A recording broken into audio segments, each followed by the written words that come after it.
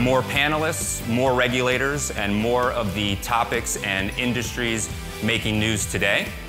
This is our second annual User Summit Marketing Compliance Conference, and we've really raised the bar from last year. Today is going to be awesome. Regulatory compliance, especially with regards to consumer protection, is on everyone's minds. Marketing compliance helps put your customers on the right track and ensures that they stay there.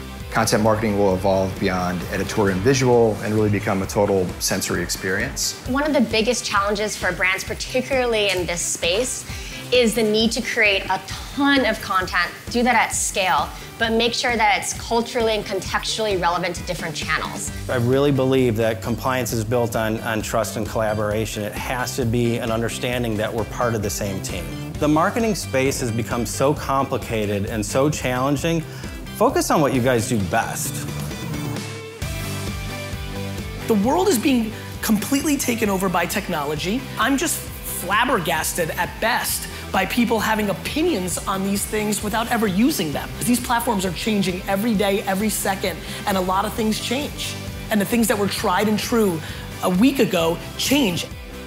This year, in addition to the Kraken Award for commitment to marketing compliance, we're introducing a new recognition the Kraken Award for Most Innovative in Marketing Compliance is fintech good or is fintech bad?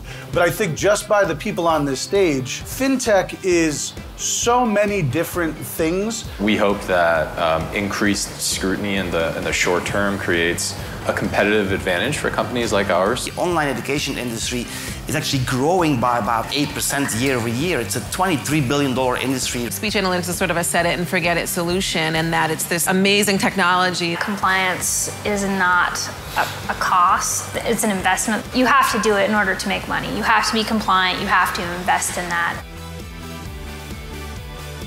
You do have an obligation to do things that are in the long-term interests of, you know, the company, of the client, of the industry.